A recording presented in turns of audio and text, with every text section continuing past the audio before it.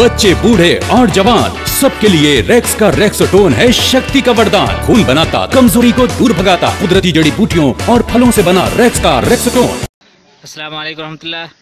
میں شاہنواز بدر۔ اس وقت میسور کے حضرت ٹیپو سلطان کا جو مزار ہے، وہاں موجود ہیں۔ اس وقت ہمارے ساتھ موجود ہیں ملک کے تین اہم شخصیات حضرت مولانا اطہر دہلوی صاحب امیر شریعت مولانا زاہد رضا صاحب اور کمیونسٹ پارٹی کے اسپوک پرسن امیر حیدر صاحب۔ اس وقت ہم لوگ یہاں حضرت کے جو مزار پہ فاتحہ کے لیے آئے ہوئے تھے۔ تو آپ کو دکھانا چاہیں گے، پیچھے جو آپ بلڈنگ دیکھ رہے ہیں، وہی مزار ہے اور یہ پورا جو علاقہ ہے، یہاں وہ قلعہ پھیلا ہوا ہے۔ تو میں چاہتا ہوں اس خاص موقع پر مولانا احتر دہروی صاحب یہاں کے بارے میں کچھ بتایا دیکھیے، ہم لوگ اس وقت کرناٹکا کی راجدھانی بنگلورو سے تقریباً دو سو کلو دور پٹنم میں ہے اور یہ سرنگا پٹنم جو ہے، ہندوستان کی مشہور ندی کاویری کے کنارے پہ بسا ہوا ہے اور اس کا نام سرنگا پٹنم ہے۔ یہیں پہ حیدر علی نے حکومت کو قائم کیا اور اس کے بعد حضرت طیب سلطان رحمہ اللہ نے اپنے سلسلے کو آگے بڑھایا۔ اور یہ وہی تاریخی شہر ہے کہ جہاں ٹیپو سلطان نے انگریزوں سے لڑتے ہوئے شہادت پائی۔ اور آپ جو یہ سامنے دیکھ رہے ہیں، یہ ٹیپو سلطان رحمہ اللہ نے اپنے والد کے لیے اس مقبرے کی تعمیر کی تھی اور اس میں پہلا جو مزار تھا وہ ان کے والد نواب حیدر علی صاحب کا تھا، اس کے بعد ان کی والدہ کا مزار تھا۔ سترہ سو ننانوے میں جب انگریزوں سے لڑتے ہوئے ٹیپو سلطان کی شہادت ہو گئی اور ان کی تاریخ جو شہادت ہے وہ ہے تلوار شمشیر گم شد کہ ان کی تاریخ فوات بھی ہے یعنی ذیقات میں جو آتی ہے۔ اسی میں ان کا بھی مزار ہے۔ اپنا سیدھے ہاتھ سے ایک مسجد ہے، جو عام طور سے آپ جانتے ہیں کہ ہندوستان کے جتنے بھی مقبرے ہیں، ان مقبروں میں مسجد جو ہے ساتھ ہونا شرط ہے۔ تو اس لیے چونکہ مقبرہ اور مسجد دونوں وقف ہوتے ہیں، تو مسجد کو بھی اس لیے تعمیر کیا جاتا تھا۔ اس لیے سیدھے ہاتھ سے جو ہے یہ مسجد، اس مسجد کا نام مسجد اقسا ہے۔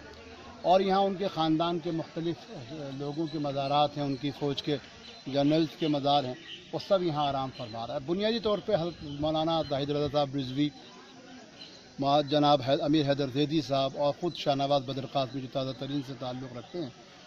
ہم لوگ بنگلورو سے یہاں آنے کا مقصد یہ تھا کہ ایک بڑی بدقسمتی یہ ہو گئی ہے کہ ہم لوگ اپنی تاریخ کو جانتے نہیں۔ جب ٹی وی پہ اور دوسری جگہوں پر ٹیبو سلطان رحمہ اللہ کو زیدی صاحب یا ہماری تاریخ یا ہمارے اجداد کو برا بھلا کہا جاتا ہے تو بہت کم لوگ کاؤنٹر ہی نہیں کر پاتے مولانا صاحب کہ ہمارے اجداد کی خوبیاں اور قربانیاں کیا تھیں۔ اچھا۔ آخری بات میں کہوں گا کہ ٹیپو سلطان سب کے باوجود ہندوستان کے اندر جو ہمارے اے پی جے ابوالکلام جو صدر تھے، ان کی مشہور کتاب ہے the wings of fire wings of fire میں لکھا ہے کہ جس آدمی نے مجھ کو میزائل مین بننے میں سب سے زیادہ جو ہے وہ یعنی متاثر کیا اور مجھ کو جو ہے متحرک کیا، مجھ کو ایک طریقے سے ہندی میں اس کے لیے پریرنا یا انکریز کیا، وہ شخصیت ٹیپو سلطان کی تھی، جنہوں نے ہندوستان میں بلکہ بر صغیر میں سب سے پہلے میزائل ٹیکنالوجی کو شروع کیا توپ خانہ شروع کیا اور بہت ساری ان کی خوبی اور کمالات تھے اور اس صرف کے ساتھ ساتھ ٹیپو سلطان ایک ایسے سیکولر یعنی راجہ یا تھے ان کے بارے میں مختلف لوگ کے خلاف وہ انتہائی شدت پسند تھے کٹروادی تھے۔ آج مختلف جگہوں کے نام بدلے جا رہے ہیں۔ مغل سرائے کا نام بدل کے کچھ کر دیا گیا، کچھ کر دیا، سڑکوں کے نام بدلے جا رہے ہیں۔ ان جگہوں کے نام بدلے جو ان لوگوں نے بنائی تھی۔ یہ وہ لوگ ہیں جنہوں نے اپنی چیز خود بنائی۔ لیکن سیرنگا پٹنم جہاں ان کی راجدھانی تھی سیرنگا پٹنم کا نام نہ تو حضرت علی کے نام پہ حیدر علی حیدر پور رکھا گیا نہ زہرہ نگر رکھا گیا تھا، بلکہ اس کا نام ہندوؤں کے جو بڑے دیوتا ہیں، تین بڑے دیوتا ان میں جو سب سے بڑے دیوتا ہیں یعنی تمام دیوتاؤں میں، شری وشنو ہری، ان کے نام پہ اس کا نام سرنگا پٹنم رکھا گیا۔ یہاں کے مندروں کو وہ اندان دیا کرتے تھے، سب لوگ ساتھ تھے۔ اور آج بھی سرنگا پٹنم اسی طریقے سے اس لیے میں آپ سے یہ اپیل کرتا ہوں، درخواست کرتا ہوں کہ ٹیپو سلطان رحمہ اللہ جیسی شخصیات کے لیے ہمیشہ ان کو اپنی تاریخ میں، اپنی زبانوں میں، اپنے ذکر میں، اپنے بچوں کو بتایا جائے۔ ایسی شخصیات کے لیے دعائیں مغفرت اور درجات کی بلندی کے لیے دعائیں کی جائیں۔ اور اہم کیا جائے کہ خدا ہمارے اندر بھی وہ صلاحیت و جذبہ کہ ہم اپنے ملک کے لیے، اپنی قوم کے لیے اور انسانوں کے لیے کچھ کر سکیں، غلامی سے لڑ سکیں۔ ہر اس وچار دھارا ہر اس فکر سے جو انسانوں کو غلام بنانے کی کوشش کرے اس کے خلاف کھڑے ہوں۔ یہیں سے میرا ادھر سے بہت بہت شکریہ۔ یہ ایک آخری ایک سوال کرنا چاہوں گا۔ یہ جو اس وقت ہمارے سامنے جو جھنڈا دکھائی دے رہا جی۔ ہے اس کی تاریخ پہ کچھ بتائیں گے؟ دیکھیے یہ سلطان کا جھنڈا تو ان کے مزار پہ ابھی اچھا۔ صاحب ہم پڑھ رہے تھے۔ ہاں, ہاں۔ تاریخ وہ یہی تھی کہ ان کے والد کو لکھا گیا کہ ان کے والد جو تھے وہ حضرت علی کے چونکہ پیروکار اور ہم سبھی مولائے متقین کے بارے میں جانتے ہیں کہ وہ فاتح خیبر تھے۔ تو لکھا کہ اسی یعنی اسی فاتح خیبر سے جو ہے مجھ کو ایک جذبہ ملا۔ فیض ملا۔ اور میں نے کرناٹکا کے شہر تک پہنچ کے اس کی کو حاصل کیا۔ اور اس کا جو قلعہ یہ جو ہے اس میں آپ دیکھیں گے وہ لا الہ الا اللہ محمد اللہ لکھا ہوا ہے۔ اور انا فتح اللہ کا فتح مبینہ اور نصر من اللہ فتح یہ اس کے اندر لکھا ہوا ہے لال رنگ کا ہے اور لال رنگ جو ہے اس کی آپ کو معلوم ہونا چاہیے کہ سادات حسینی میں بالخصوص جو حسینی سادات اور کہا جاتا ہے کہ حضرت حسین کا جو جھنڈا کربلا میں تھا، وہ بھی سرخ تھا۔ یہ سرخ جو ہے، یہ در حقیقت جذبات کو، حسینی خون کو یا ایک طریقے سے لوگوں کو متوجہ کرتا ہے۔ تو یہ جھنڈا آج بھی آپ کو نظر آ اور اس کے سب سب طرف جو ہیں وہ ہرے نشان ہے بیچ میں سفید ستارہ بنا ہوا ہے اوپر چاند کے ستارہ ہے جو ٹیپو سلطان کا نشان تھا اس میں قرآن پاک کے بنا ہوا ہے۔ اور اوپر بھی آپ دیکھیں اگر گمبت پہ بھی تو وہاں بھی ہلال ہے۔ اور ہلال کے ساتھ تو ایک طریقے سے سمجھتا ہوں کہ ادھر آپ مسجد دیکھیے ایک جو بڑا الزام لگتا ہے کہ مسلمانوں نے تہذیب کو ختم کر دیا کلچر ختم کر دیا وہ لوگ یہ دیکھیں کہ مسلمان جن جن جگہوں پہ دیدی صاحب رہے اور مولانا رضوی صاحب جہاں رہے انہوں نے لوکل کلچر اور لوکل یعنی آرکیٹیکٹ جو تھا جو یعنی فن تعمیر تھا اس کی بچایا۔ اور یہاں بھی آپ کو نظر آئے گا کہ کرناٹکا کا بالخصوص ساؤتھ کا جو آپ کو یہ فن تعمیر ہے یہ اس کی بے نظیر عمارت ہے اور اس کو انہوں نے بچایا۔ اس لیے میں سمجھتا ہوں کہ اپنے آپ میں بہت بڑی چیز ہے۔ جی اس وقت ہمارے ساتھ امیر شریعت اتراکھنڈ مولانا زاہد رضا رضوی صاحب ہیں۔ آپ بھی کچھ فرمائیں۔ اس سے پہلے بھی کئی مرتبہ بنگلور آنا ہوا، لیکن کم قسمتی رہی کہ وقت کی قلت کی بنیاد پر حضرت جی ٹیپو سلطان شہید کے آستانے پہ حاضری نہیں ہو پائی۔ بہت تمنا تھی اور بہت خواہش تھی جو تاریخ پڑھی اس کے اعتبار سے۔ آج خوش قسمتی ہے کہ ملک کی دو عظیم شخصیتوں کے ساتھ حضرت مولانا سید اطہر دہلی صاحب، چیئرمین انجمن منہاج رسول سی پی ایم کے آل انڈیا سیکرٹری اور پروقتا جناب امیر حیدر زیدی صاحب کے ساتھ۔ تو یہاں آ کر جو ایک تقویت ملی اور جو تاریخ کے کچھ گوشوں سے واقفیت ہوئی، وہ یقیناً قابل فخر ہے۔ اور بس میں تو یہی عرض کروں گا کہ وہ قومیں زوال کا شکار ہو جاتی ہیں کہ جو اپنے آبا و اجداد کی تاریخیں یاد نہیں رکھتی۔ ہمارے مدارس، خاص طور پر چونکہ میں مدرسوں سے جڑا ہوا ہوں، یہ اس ضرورت کو میں نے یہاں آ کر محسوس کیا بہت شدت سے کہ جہاں ہمارے مدارس میں دوسری تاریخیں پڑھائی جاتی ہیں، دوسرے اولیاء کرام کی، علماء کی تاریخ اور سیرت پڑھائی جاتی ہے۔ اس لیے بہت ضروری ہے اس ملک میں خاص طور پر کہ جو ملک کے ایسے مجاہدین آزادی آزادی رہے کہ جنہوں نے شریعت کی پاسداری بھی کی اور اپنے مذہب کے پر قائم و دائم رہتے ہوئے ملک کی کے تحفظ کے لیے اور ملک کی حفاظت کے لیے اور آزادی کے لیے اپنی بڑی سے بڑی قربانی کی ان میں ایک عظیم نام حضرت ٹیپو سلطان شہید علیہ رحمہ کا ہے۔ اور مجھے یہ حیرت ہوتی ہے ہمارے عظیم دوست جناب زیدی صاحب نے جو بتایا اور دہلی صاحب نے، کہ اتنی عظیم قربانی کے بعد اور اتنی عظیم شہادت دینے کے بعد اس ملک کے تحفظ کے لیے اور آزادی کے لیے جس بزرگ نے قربان جس مجاہد نے قربانی دی ان کے ان پر بھی آج سوالیہ نشان اور فرقہ پرست طاقت طاقتیں ان پر بھی آج جو ہے سوالیہ نشان کھڑے کرتی ہیں اور ان پر ان کی ذات پر بحث کرتی ہیں۔ تو میں تو آپ کے وسیلے سے اب مدارس کے ارباب مدارس سے، علماء مدارس سے ہی گزارش کروں گا کہ جہاں وہ دوسری تواریخ پڑھا رہے ہیں۔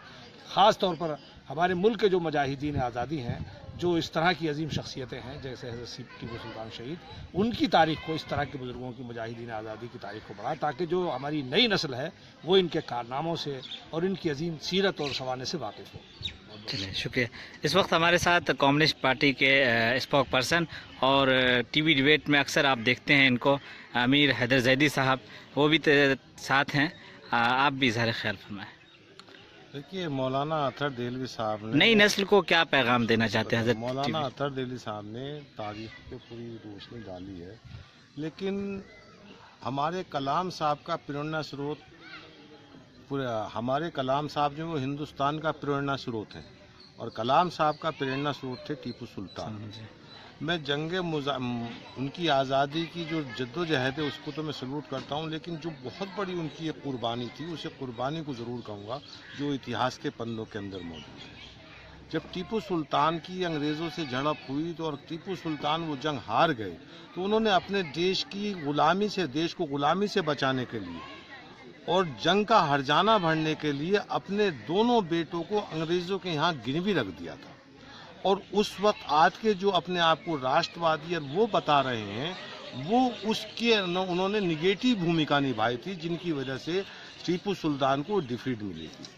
تو ٹیپو سلطان نے اپنی جان تو قربان کی لیکن ساتھ میں اپنے دونوں بیٹوں کو دشمن کے حوالے کر دینا گنوی رکھ دینا یہ ایک مرد مجاہد کا ہی کام ہوتا ہے۔ اور میں آج اس جگہ آ کے اس مرد مرد مجاہد کو سلام کرنے آیا ہوں جس نے دیش کی دیش کو غلامی سے بچانے کے لیے اپنے دونوں بیچوں کی بھی آہوتی دی ہے قربانی دی ہے اسے گروی رکھا ہے۔ کوئی اپنے جگر کے کلیجے کو کسی کے پاس رکھ سکتا ہے کہ نہیں؟ نہیں۔ رکھ سکتا۔ بہت بڑی ہمت کی بات ہوتی ہے۔ آج اس پہ پرشن چن لگا دیا جائے اسے کچھ اور کہہ دیا جائے اس کی جنم شتی کو منانے کے اوپر وواد کیا جائے بڑے افسوسناک بات ہو سکتی ہے۔ اور وہ اسی لیے ان کے لیے ہے کہ ان کے پاس اپنا کوئی اتہاس نہیں ہے جو اس سمے وہ یاترا کریں۔ ان کے پاس ایک اتہاس ہے کہ میں اسے ضرور کوٹ کروں گا کہ جو وہ اپمانت کرتے ہوئے ترنگے کو بیچنے کا کام کر رہے ہیں وہ آئیں ٹیپو سلطان کے مزار پہ کم سے کم سلام کر کے تو ضرور جائیں۔ جو اس سمے اس پوری وراثت کو ختم کرنے اوپر لگے ہوئے ہیں۔ چلیے بہت بہت شکریہ۔ میں اس میں ایک چھوٹی سی بات جوڑنا چاہوں گا۔ اندر آپ جائیں گے تو ٹیپو سلطان رحمہ اللہ کے مزار پہ جو چادر ہے جو غلاف ہے۔ وہ شیر کی کھال کے لیے ہے۔ کیونکہ ٹیپو سلطان کو میسور کا شعر کہا جاتا ہے ان کی ہر جگہ آپ کو شعر ملے گا۔